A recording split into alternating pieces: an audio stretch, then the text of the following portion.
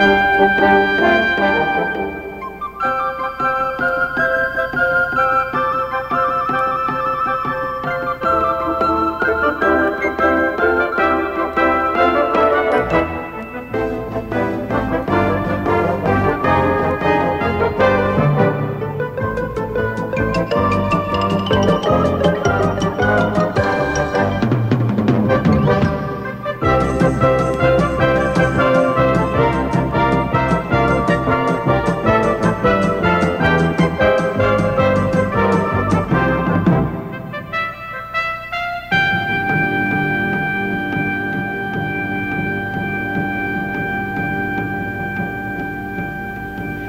previous programs, we've looked at lots of little bits of Shakespeare's text. We're going to look this evening at a longer passage, one that's virtually a whole scene by itself. We're going to work on it as if we were actually rehearsing the play. Lots of the points we've talked about will come up because I particularly want to dig into the scene for its textual richness and the verse. Of course, if we were rehearsing the play for full, there'd be lots of rehearsals where the text wasn't talked about, and much more time would be spent on the relationship of the characters and the staging. But I want to stick here to the basic theme of playing Shakespeare. What hints and help are there in Shakespeare's text, and particularly in his verse, for the actors to seize upon and to use? Here's a scene from Twelfth Night between Orsino and Viola. She's disguised as a boy, and she's in love with him, but he doesn't know this. She's acting as his servant and messenger. So let's start the scene off from the top. Give me some music. Now, good morrow, friends. Now, good Cesario. But that piece of song, that old and antique song we heard last night, I thought it did relieve my passion much. Come, but one verse. He is not here, so please your lordship, that should sing it. Who was it? Feste the jester, my lord. A fool that the Lady Olivia's father took much delight in. Here's a bite the house. Seek him out and play the tune the while. Okay. Now, that beginning is pretty straightforward, and we don't need to stop on it very long. Mm-hmm. Just want to point out one thing about the verse. We've said how Shakespeare gets extra stress by stressing an offbeat word in the verse line, like going dum dum instead of de dum. Mm-hmm. And you, to kick the scene off, have two or three of those. You mm. say, give me some music, mm-hmm. which picks up the scene and launches you into the scene, Yeah. which wants to go further, I think. And then the next line, now, good Cesario. So you're starting something. And come, but one verse. Those three extra stresses at the beginning mm-hmm. suggests your eagerness and excitement at the beginning of the scene. You're going to go more mellow later. And there's one textual hint about the ruminative nature of Orsino, which is that old and antique song. You love and indulge old, ancient, and antique songs. Mm-hmm. Let's go back on that. From the top. Yeah. Give me some music. Now, good morrow, friends. Now, good Cesario. But that piece of song, an old and antique song we heard last night, methought it did relieve my passion much. Come, but one verse. He is not here, so please your lordship, uh, that should sing it. Who was it? Feste the jester, my lord, a fool that the Lady Olivia's father took much delight in. He is about the house. Seek him out and play the tune the while. I'm saying that in, presumably to some musicians. Yes, That we we've may or may not have. Right? We've got music. Where are they? Because I'm I'm looking over there. You're the I think they're over there. That's where your musicians are. Yeah. Over that way. Right. Now, before, before we go on to the next bit, let me just, I don't want to stop too long on this bit either, but let me just point out one or two things in the verse in the next speech. The business of extra stress again in Shakespeare. Hmm. In the second line, in the sweet pangs did he dum dum. That sweet is in an offbeat contrapuntal position and has extra stress because of it. Mm-hmm. And of course, the balance between sweet and pangs need bringing out because that's what Orsino is. It is sweet to him and he is in pain, but he loves it. And love with love, right? Love with, in love with love. Yes. And then at the end of the speech, you have a very simple monosyllabic sentence. How dost thou like this tune? Well, if you say it just casually, like I've just said it, it's, it's a nothing. But if you give each of the words a stress, as you always should with a monosyllabic line of Shakespeare's, it'll take you into the depth of your love for music and into your love melody. So, how dost thou like this? Each word matters. Yes. Okay? Yes. So, you've gone. On we go again. Come hither, boy. If ever thou shalt love, in the sweet pangs of it, remember me. For such as I am, all true lovers are. Unstayed and skittish in all motions else, save in the constant image of the creature that is beloved. How dost thou like this tune? It gives a very echo to the seat where love is throned. Good. Now, maybe we could indulge the love melancholy even more in that, that you could go even further with the sweet pangs, Yes. even further with how do you like the tune, and also when you say, for such as I am, all true lovers are, you slightly took that naturalistically. Just think of those words, for such as I am, all true lovers are. I am the best lover in the world. There is self-love with your own love in that, isn't there? Yes. Just do it once again and indulge more. Mm-hmm. Come hither, boy. If ever thou shalt love, in the sweet pangs of it, remember me. For such as I am, all true lovers are. Unstayed and skittish in all motions else, save in the constant image of the creature that is beloved. How dost thou like this tune?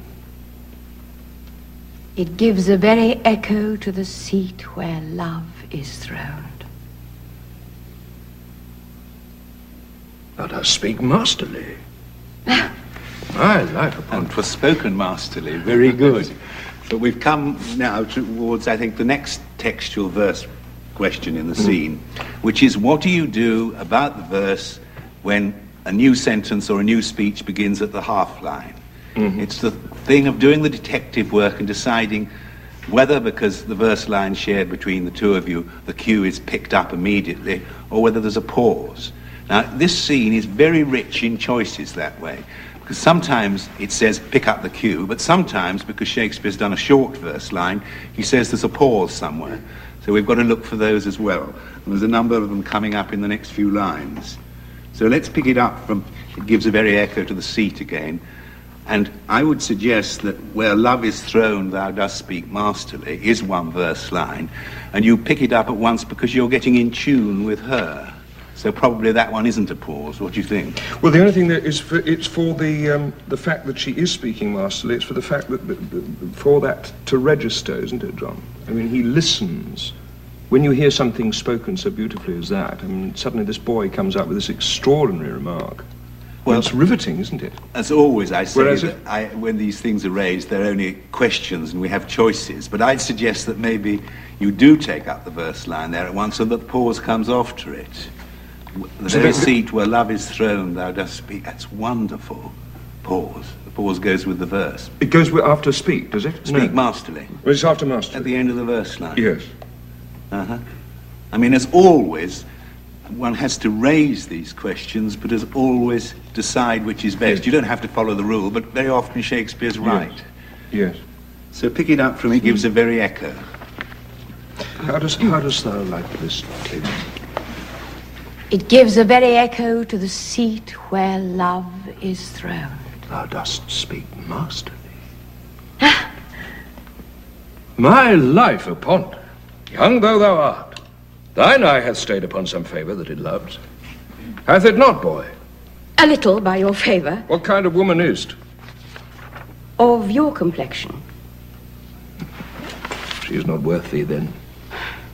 But there's another one there, isn't there? Of your complexion, Yeah. she is not worth thee then. Yeah, exactly. Can you make your own choice about it? Yes, I think you've got to be aware that these things are happening in the text and then make your choice. Hmm. We've got two or three all together. Hath it not, boy, a little by your favour, is one verse line, and you did in fact pick it up then, which I thought was right. And I thought, by the way, that pausing off to thou to speak masterly actually works, works, it? works Yeah, it better. does work, yeah. Then there's another one when Orsino says, What kind of woman is't? and you say, Of your complexion. Yes. So maybe you don't pause there. Yes. That's the question to raise. Yes. And then the other thing happens. Orsino But- says, she is not worthy then what years, if faith? And you have a short verse line which only has about your Yes, years, my my lord. Well, Shakespeare's built a pause there because there's a short line and missing beats. So what we have to decide is whether to pause before or after the line in such cases. So which do you think might be right there? I would imagine that it should be before Yeah. because it's such a wonderful mm. payoff for Orsino right. to say too old by heaven. Well, I think that's the mm. point, because what Shakespeare usually does with all this system is to earn the pauses for the actors. You mm. see, if you pick up these half-line cues as they're written, when a pause comes, it's the stronger. Yeah. But if you make lots of little individual pauses, then it all goes naturalistic and the verse drive and rhythm of Shakespeare disappears. So try it again from Can I just just be quite sure Yeah. that I've got the, the actual lines? Hath it not, boy, a little by your favour? End of line. End of line. What kind of woman is't Of your complexion. End of line. She is not worth thee then what years, if faith? end of line. About your years, my lord. Too old by heaven. That's the pause. End of line. Because that's a very after heaven, important moment for Viola. Yes. Because she doesn't quite know what to say to you. Let's Yes. just run that section then. Yes. From uh, gives a very echo again. How does I like this tune? It gives a very echo to the seat where love is throned. Thou dost speak masterly. My life upon young though thou art, thine eye hath stayed upon some favour that it loves, hath it not, boy? A little by your favour, What kind of woman is't?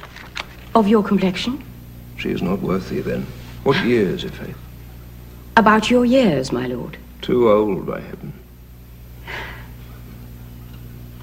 Now, But still the how, woman. How, how do we think that works? I was. I, I think Does I it let in. time? I, I not quite. I didn't. Didn't quite? I quite gave time on one of them. Hmm.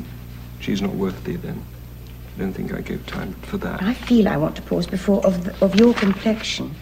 It Because is- she's caught, caught out, isn't she, a bit? There's always another option about a pause, is that you can always have it within the words, can't you? So of your complexion, you could pick up the cue, but say, um, you could feel for it with the words themselves. Ah, lovely. Yes, yes. Then you follow Perfect. Shakespeare's rhythm, but you Yes. have your pause. Yes. I mean, always the question about a pause is, does it come before the line? Does it come off to the line? Or can it come in the middle of the line? Or have you earned it? Or have you earned Yes. it? That's the most important point. But we earned the last one there. Let's, let's go on to the next bit. So, pick it up from what years, if faith? Um, what years, if faith? About your years, my lord. Too old, by heaven. Let still the woman take an elder than herself. So wears she to him. So sways she level in her husband's heart. For boy, however we do praise ourselves, our fancies are more giddy and unfirm, more longing, wavering, sooner lost and worn than women's are. I think it well, my lord. And let thy love be younger than thyself. For thy affections cannot hold the bent. Cannot hold the bent means cannot uh, Last. Last, isn't it? Can't endure. Yes, yes. Now that seemed all perfectly straightforward. Yes, Was it- the verse there is much more straightforward, except there's the little indication that his thoughts are teeming because a sentence begins halfway through the verse line, which is very often a, a, a hint in Shakespeare to the actor that the thoughts are tumbling out of him. Too old by heaven, let still the woman take. It's good to run that line on because his mind is teeming. I think the uh, only thing maybe we missed was that there's a bigger gear change for Orsino halfway through that speech, after he said, so sways she level in her husband's heart. For boy, however we do praise ourselves, our fancies are more giddy and unfirm, and you make an admission about yourself, and you tell the truth about your own self-indulgence Yes. as a lover. It's blokes' talk, isn't it? Yeah. Really, it's, it's That's right. chat between fellows. But if you took the first three lines of that speech, pouring out of you quite fluently, and then, Yes, yeah. for boy, however we do praise ourselves, you slowed up and began to look at yourself sardonically. Even Riley, John. Even Riley. Even Riley. Yeah. What years of age? What years of faith? About your years, my lord. Too old, by heaven. Let still the woman take an elder than herself. So wears she to him. So sways she level in her husband's heart. For boy, however we do praise ourselves, our fancies are more giddy and unfirm, or longing, wavering, sooner lost and worn than women's are. I think it well, my lord. And let thy love be younger than thyself. For thy affections cannot hold the bent. For women are as roses, whose fair flower, being once displayed, doth fall that very hour. And so they are. Alas, that they are so. To die even when they to perfection grow. Okay, could hold it a moment. We'll have a couple of points on that bit, I think. Um, As being a bit self-indulgent there, perhaps at the expense of the, of the rhythm. Was I? Or did I, had no, I earned don't it? think- I think you've earned it. Let me raise another verbal point, which is the importance often in verbs. We're good at colouring coloured nouns and adjectives, but sometimes the verbs are the active words in a line. For instance, you said, so where's she to him? But surely it's, so where she to him? So Yes. sways she level in her husband's heart. That's a good example of a sentence where the Yeah. verbs are the important ones. Yes. And then another point which comes up at the end of that little bit, which is we've run into a couple of couplets, haven't we? A couple of rhyming couplets. Orsino has one and Viola has one. Mm. Now, we've usually given ourselves the rule that if we have a couplet, the speaker knows that it's a couplet and makes it a couplet because they want a couplet or need a couplet. Mm-hmm. And you've got to set up a couplet for her to answer you with a couplet. Mm-hmm. Mm-hmm. And that coining of a couplet is part of your self-dramatization and self-indulgence. And her couplet brings it down to earth again. But you need to set up yours for hers to pay off. So just take it from let thy affection be younger than thyself then. Then let thy love be younger than thyself, for thy affections cannot hold the bent. For women are as roses, whose fair flower, being once displayed, doth fall that very hour. And so they are. Alas, that they are so. To die even when they to perfection grow. And what, just pause a moment and say what you think about what you should do about couplets. And, uh, are they a problem or are they good stuff or what? Musically, it's lovely that this little passage between them ends like that. It's just like it ends on on a not a major note, but it just ends. The two, the two couplets just end the scene before the next That's right. I, rec- the next bit. I reckon if you give full weight to those couplets, Hmm. you do round off the scene and you then earn a pause before Feste and Curio come back. Hmm. And I think I should have been a bit jerky But if- earlier on. But it seems to me there's, for both of you, there is more element of humour about oneself in the situation. You, the humour of being dressed Rather as a wry, boy yes. and wry. Yes. Hmm. And you are able, however indulgent you are, to mock yourself as a lover. And when you would make the admission to the boy that your fancies are wavering and inconstant. But it's I a very think- sad, this is a And very it- sad reflection. I was going to this say, I just think it? that last couplet of mine, for instance, is not, is that that's when she, it's a, like a volte-face. That's it's right. when Yeah. she actually, Which almost perhaps she takes off him because Yes. his couplet, I mean, it's very, it's a sad reflection, isn't it? Why don't we try taking it from Too Old by Heaven? And that's got humour and self mockery in it, hasn't it? Mm-hmm. And for boy, however we do praise ourselves, that's wry humour against yourself. Our fancies are more giddy and unfirm. I know I'm giddy and unfirm. And uh, when you say women are as roses whose fair flower, being once displayed, doth fall that very hour, maybe that's at that point a bit callous about women, a bit sexist, perhaps. It seems to me if you go mellow and melancholy on that, then her lines don't break into your lines. Yes. If you say, Yes. women, they don't last, she says, Yeah. That's true, that's true, and breaks into it. Yes, Yes. yes. So, do it again from, what year is your faith again? What years of faith?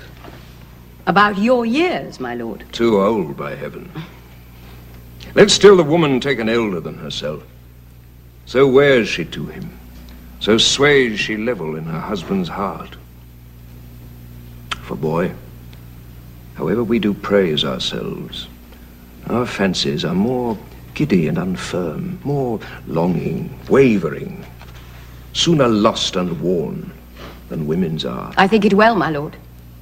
And let thy love be younger than thyself, or thy affections cannot hold the bent. the women are as roses, whose fair flower, being once displayed, doth fall that very hour. And so they are. Alas, that they are so.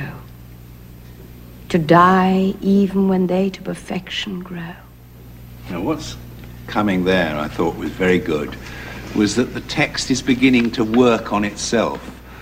Words qualify words, one sentence qualifies another, her speech at the end breaks into yours, so that the mood is changing all the time. It's about the inconstancy and shiftingness of mood in love, the scene, isn't it? So the text itself and the verse has to shift. If uh, you play it too evenly, we get, as always in Shakespeare, a generalized mood and it doesn't work. But if you play all the contrasts as they come, then there's riches and riches for the audience to latch on. It was very good. oh, fellow, come. The song we had last night, the market, Cesario. It is old and plain. The spinners and the knitters in the sun, and the free maids that weave their thread with bones, do used to chant it. It is silly sooth, dallies with the innocence of love, like the old age. Are you ready, sir? Aye, prithee, sing. Okay, don't sing for a moment. Two points to come out of that, I think. Um, there's a wonderful example of a resonant monosyllabic line here. The spinners and the knitters in the sun, and the free maids that weave their thread with bones. If you let that line breathe, if you stretch the words, it has extraordinary poetic resonance. If you just say it naturalistically and the free work. And indeed, as I often point out, if you try and take a monosyllabic line fast, you get into a tongue twister and it doesn't work anyway. But I thought that the free maids that weave their thread with bones, that you could find the textual richness, richness of that by envying them their innocence and their happiness. Because you say in the speech, the song dallies with the innocence of love, hmm. which I haven't got. I'm sophisticated in love, I, Orsino. I'm love worn, I'm love sophisticated. I wish I had the innocence. Mm-hmm. And then there's another smashing example of a Shakespeare pause built into the text, isn't there, at the end of Orsino's speech, because he says, dallies with the innocence of love like the old age. Pause for me to decide whether he's finished. That's right. Absolutely. Is it all right to start? That's Yes. right. Are you ready, sir? At It's last. quite funny if there's a pause. I mean, Yes. Shakespeare's built a bit of comedy into his pause Yes. there. Now, let me just say one thing about the song. Very famous lyric. The, the nature of the song, of course, is described by Orsino itself. It is old and plain, and country people sing it, and it's about the innocence of love. So that tells us what the song smells like. But it also tells us what you think is in the song. Mm-hmm. But what does Feste think is in the song? Quite a long song, and there's also the fact there are two verses of it. There's always a danger with a song on the stage, isn't there, that a verse repeats itself, so the action gets becalmed because the tune repeats. And I've always felt that there was something different in these two verses, that maybe in the first verse, Feste sings it straight, And then he starts to mock him in the second. Yes. Yes. And in the second one, he starts to actually send up Orsino for his love indulgence. Exactly. So should we try it that way and mock him up in any way It'll all come like? out the same, but I'll, I'll never be the intention. Well, hopefully the tu- You know the tune? we hope the tune will be the same. But be as outrageous as you can with that. Uh, Oh, the second sending of verse. him up, yes. And we thought it might be quite a good idea if I move onto the floor here, wouldn't it? So it would give Norman All right. a bit of chance to use sit this. Yes, because then if he's away from me, then it gives me a Yes. chance to mock him behind his back. That's right. And perhaps play some of it off. off Absolutely. She can see that you're mocking Yes, him, but he mustn't, I think. So, Okay, again... just for old fellow yeah, come. Yeah, a fellow come. Oh, fellow, come. The song we had last night, Market Cesario. It is old and plain. The spinners and the knitters in the sun, and the free maids that weave their thread with bones do used to chant it. It is silly sooth, and dallies with the innocence of love. Like the old age. Are you ready, sir? Aye, prithee, sing. Come away, come away, death, and in sad cypress let me be laid. Fly away, fly away, breath. I am slain by a fair, cruel maid. My shroud of white stuck all with yew. Oh, prepare it. My part of death no one so true did share it. Not a flower, not a flower sweet. On my black coffin let there be strown. Not a friend, and not a friend greet my poor corpse where my bones shall be thrown. A thousand, thousand sighs to save. Lay me, oh, where? Sad true lover, ne'er find my grave to weep there.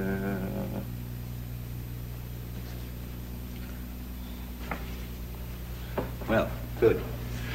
A word about songs. I, I always think they're a terrible trap in a Shakespeare scene because one can so easily have an exquisite song, but the action and the play becomes becalmed. No danger of that in this case. No. But no, my, my point is that truly looked into over and over a song, which we've not talked about in this series, but a, a Shakespeare song or piece of music actually becomes part of the action of the scene. And I've seen this scene done very often where there's pause for lovely song, but it seems totally extrinsic to the scene. So what does the song do here? Presumably, as it's his favourite song, he plays it to feed his love melancholy, and the song makes the disease worse. So it's tear time for Orsino, really, isn't it? Well, Almost. it's going to lead him to breaking out in a minute, perhaps. Yes. I mean, he's been worked up and inside it, and something's going to snap in a minute. He'd say, "Go back and see Olivia," which is Yes. the beginning of the last section with Viola. Yes. But I, th- I thought watching it that it was as important to see the song working on you as to hear the song sung by Norman, Yes, because the, the, the, the scene is about your melancholy. yes. So let's pick it up from the end of the song. Then we get a prose bit, which goes on up to Feste's exit, which is reasonably straightforward. So from end of song. There's for thy pains. Uh, no pain, sir. I take pleasure in singing, sir. I'll pay thy pleasure then. Truly, sir, and pleasure will be paid, one time or another. Give me now leave to leave thee. Now the melancholy God protect thee, for thy mind is a very opal. I would have men of such constancy put to sea, that their business might be everything and their intent everywhere.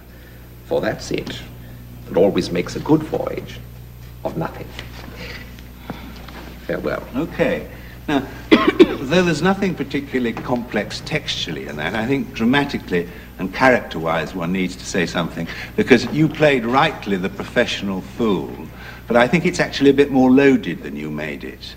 I think there's a bit more subtext that we could find out of it. For instance, when you say pleasure will be paid one time or another, that's something you've learnt out of life.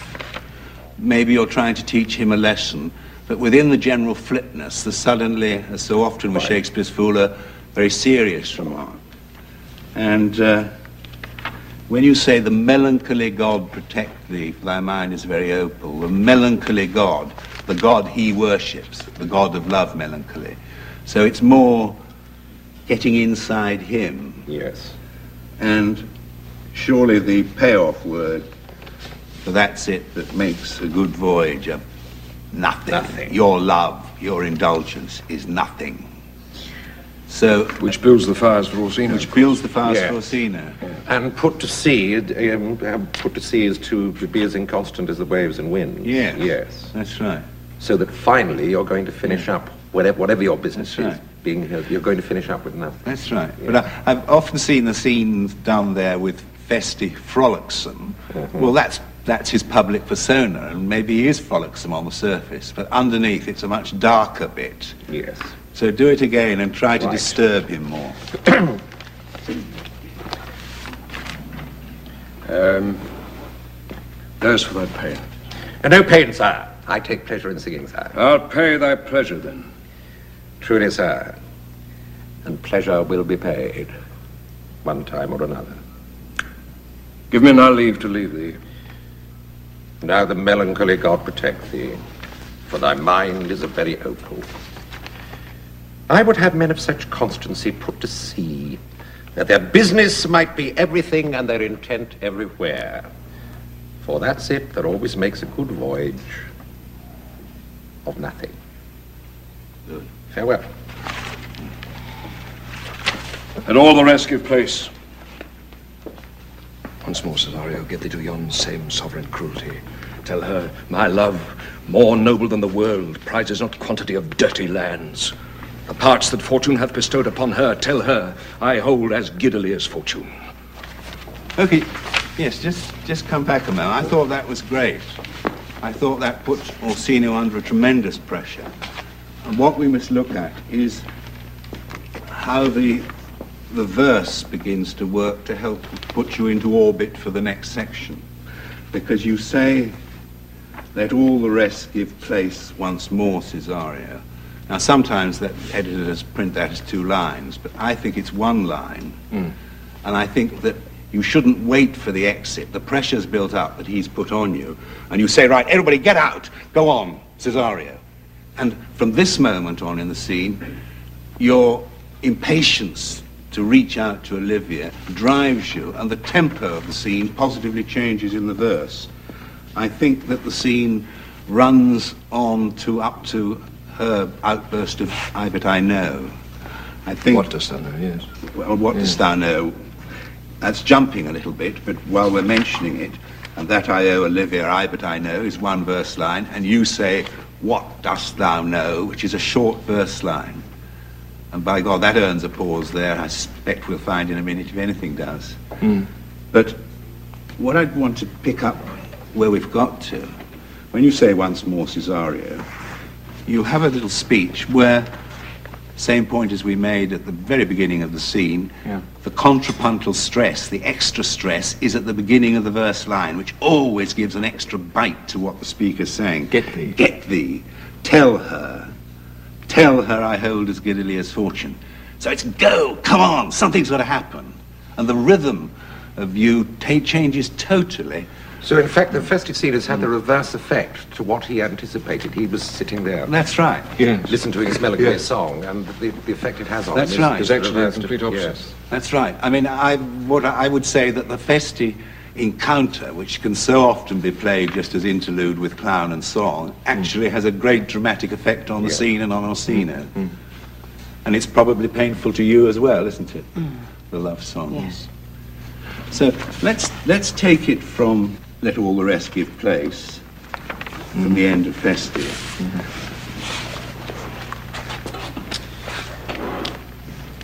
For that's it that always makes a good voyage of nothing. Farewell. And all the rest give place. Once more, Cesario, get thee to yon same sovereign cruelty. Tell her, my love, more noble than the world, prizes not quantity of dirty lands. The parts that fortune hath bestowed upon her, tell her, I hold as giddily as fortune. But if she cannot love you, sir... I cannot be so answered. Sus, but you must. Uh, say that some lady, as perhaps there is, hath for your love as great a pang of heart as you have for Olivia. You cannot love her, you tell her so. Must she not then be answered? There is no woman's sides can bide the beating of so strong a passion as love doth give my heart. Make no compare between that love a woman can bear me, and that I owe Olivia. Aye, but I know. Ah, what dost thou know? Okay, good. I think that the pressure continues between the two of them right up to what dost thou know? Yes. And I think that there is only one possible pause in that section, which is when Orsino again has a short verse line. There is no woman's sides. Now, what does that suggest to you? Viola says, must she not then be answered? Short verse line, there is no, No woman's, sides. Can abide the beating of so strong a passion as love doth give me. It's all one, isn't it? It may be that there's a beat before there is no woman's side because she's scored. She said something that stops you in your tracks for a moment. I suspect that's the one pause in the section. Yes.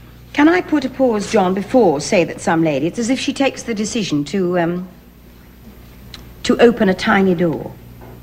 Is that po- is that allowable? A pause always is allowable. One has to ask oneself, is it justified? Yes. I'm, I'm not against pauses. All I think I'm saying is that in our modern work, we put in pauses wherever we want. And if you start doing that too much in Shakespeare, the text begins to go wrong, and you have to earn each one. And you have to question whether it should be there or not. Yes. Get thee to yon same sovereign cruelty. Tell her, my love, more noble than the world, prizes not quantity of dirty lands. The parts that fortune hath bestowed upon her, tell her I hold as giddily as fortune. But if she cannot love you, sir. I cannot be so answered. Sus, but you must. Say that some lady, as perhaps there is, hath for your love as great a pang of heart as you have for Olivia. You cannot love her, you tell her so. Must she not then be answered? There's no woman's sides can bide the beating of so strong a passion as love doth give my heart. Make no compare between that love a woman can bear me, and that I owe Olivia. Aye, but I know What dost thou know?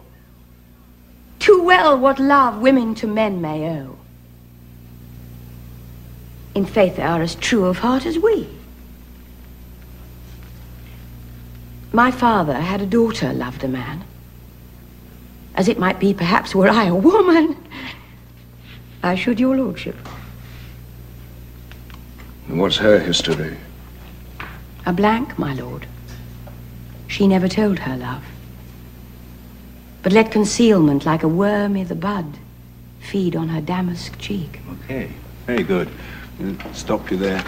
I think that taking that with that sweep earned Judi's time on the moment we've Yeah. got to. I thought that worked very well. Let me just make one point about where we've got to.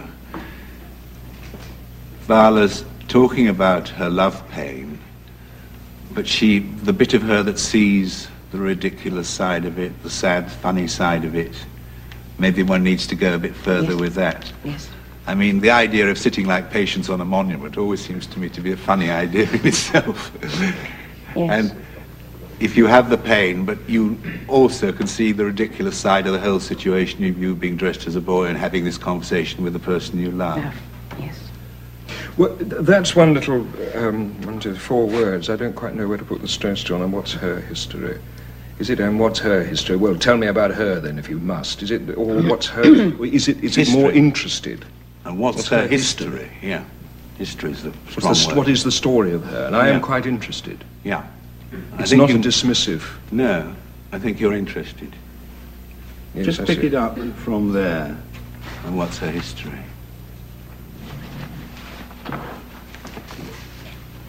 What's her history?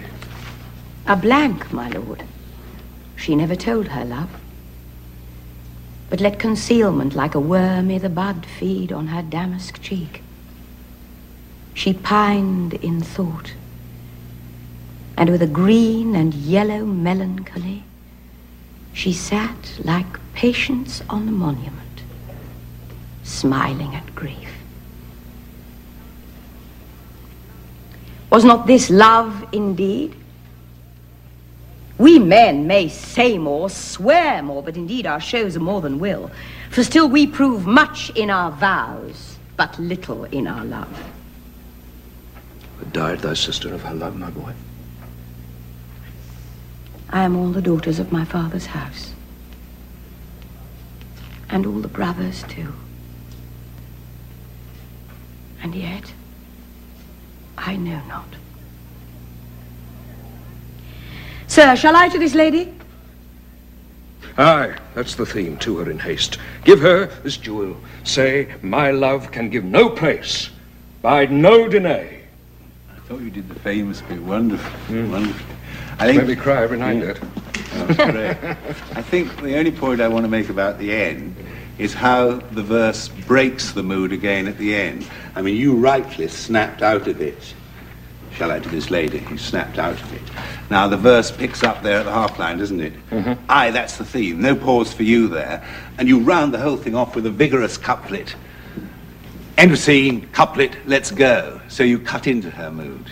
Is there, is there the slightest sense that, from Orsino, that he is not what all that he pretends to be at this point in the play? That she, you mean? Yes. That Yes, she, he. I think you realize there's something very strange about the boy. Yes. Though you don't recognize it's not a boy. I think there is that moment. Yes, I mean, that you want, that's why I paused, John, you see. Yeah. And is that pause justified there because of that thought? Yes, I think it's thought to- justified if you then brush it away and there's a change at the next beat. Hmm. Now, I think we must, uh, we must on now. And what I'd like to do now, having done it in little bits, is to just run the whole scene, see what we retain of that, and go for these violent, jagged gear changes within the scene, and overdo the text, Dicky. Go too Yep. far. Right. Okay? Mm-hmm. So we do it from the top.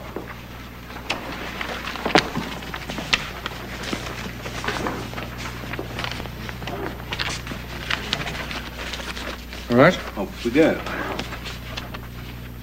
Give me some music. Now, good morrow, friends. Now, good Cesario.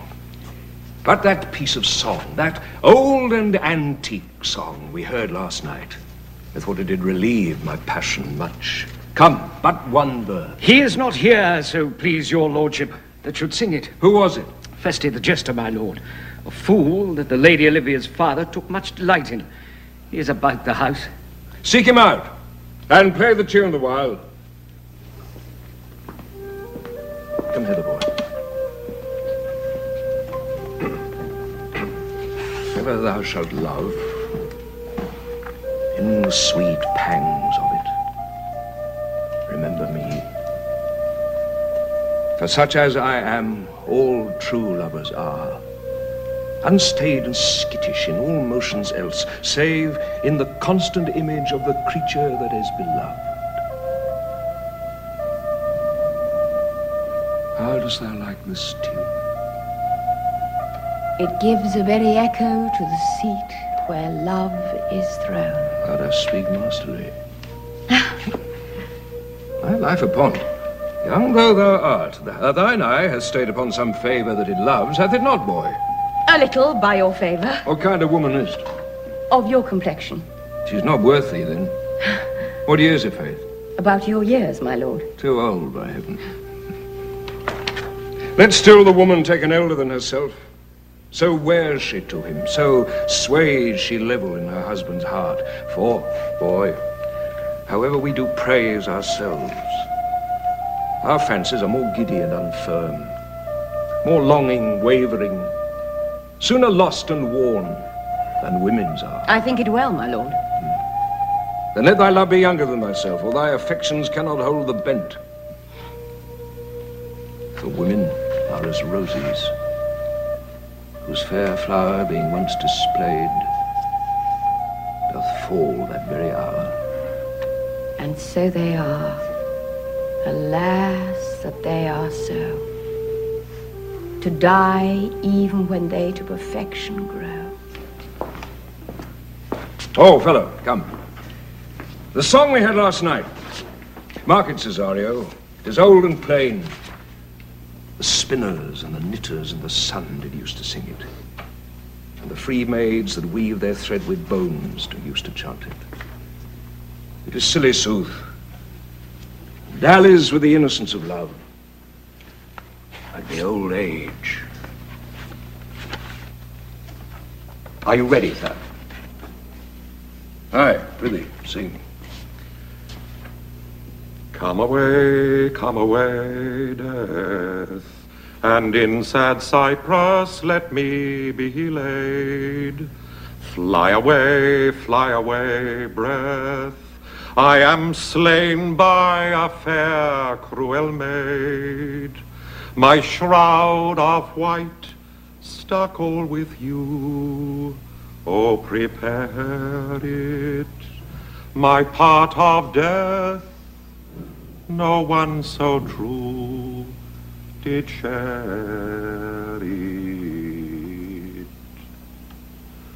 Not a flower, not a flower sweet, on my black coffin let there be strown.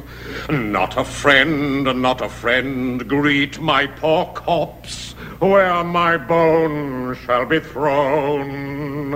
A thousand, thousand sighs to save, lay me, oh, where sad true lover ne'er find my grave to weep there.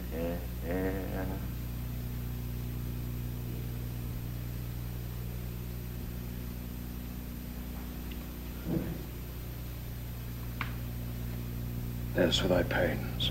Oh, no pain, sir. I take pleasure in singing, sir. I'll pay thy pleasure then. Truly, sir. And pleasure will be paid, one time or another. Give me now leave to leave thee. Now the melancholy God protect thee, for thy mind is a very opal.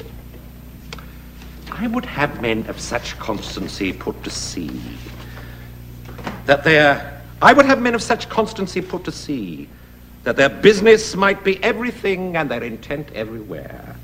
For that's it, that always makes a good voyage of nothing. Farewell. And all the rest give place. Once more, Cesario, get thee to yon same sovereign cruelty. Tell her, my love, more noble than the world. Prize is not quantity of dirty lands. The, the parts that fortune hath bestowed upon her, tell her I hold as giddily as fortune. But if she cannot love you, sir... I cannot be so answered. Yes, but you must. Say that some lady, as perhaps there is, hath for your love as great a pang of heart as you have for Olivia. You cannot love her, you tell her so. Must she not then be answered? There is no woman's sides can bide the beating of so strong a passion as love doth give my heart. Make no compare between that love a woman can bear me and that I, oh, Olivia. Aye, but I know Oh, what dost thou know? too well what love women to men may owe. In faith, they are as true of heart as we. My father had a daughter loved a man. As it might be, perhaps, were I a woman, I should your lordship. What's her history? A blank, my lord. She never told her love, but let concealment, like a worm i' the bud, feed on her damask cheek. She pined in thought, and with a green and yellow melancholy, she sat like patience on a monument, smiling at grief. Was not this love indeed? We men may say more, swear more, but indeed our shows are more than will. For still we prove much in our vows, but little in our love. Died thy sister of her love, my boy? I am all the daughters of my father's house. And all the brothers, too. And yet, I know not. Sir, shall I to this lady? Aye, to her in haste. That's the theme. To her in haste. Give her this jewel. Say, my love can give no place. Bide no denay. Look, well, I, I think you did that beautifully. Grievous miss, I mean. Yeah. I think if I was to sum up, I would stress very strongly that what we've rehearsed together now is only one aspect of the business, isn't it? Because I've been laying down the law about the verse because I've been stressing how we must give our attention to it. I don't want to be thought of as saying that I'm issuing rules or that you have to follow the verse. What we're saying is that you have to be aware of the verse and you have to be aware of how it works and to find out how, you how it helps you. So what's the moral of the rehearsal? We've dug into the material, we've moved the scene on a bit in a particular way, but of course we haven't been trying to find a definitive solution, just one possibility. With Shakespeare, there are always a limitless number of answers and different ones come up at each rehearsal. So what have we been trying to prove? Simply this, that the clues in the text are much richer and more numerous than at first appears. I suppose if I were to draw a moral from my rehearsal, it would be simply this, that though the possibilities are infinite, we can only sift the fruitful from the perverse by getting our teeth into the text and the verse itself. If the textual points are ignored, it's pretty certain that Shakespeare's intentions will be ignored or at least twisted. Something else will be put in their place, maybe valid in itself, but nonetheless a distortion. I'm not trying to knock that kind of work. It can be rich and exciting in its own right, but it is an alternative to, and not a realization of, Shakespeare. Shakespeare is his text, and the way he uses it is just that. So if you want to do him justice, you have to look for and follow the clues he offers. If an actor does that, then he'll find that Shakespeare himself starts to direct him. thank you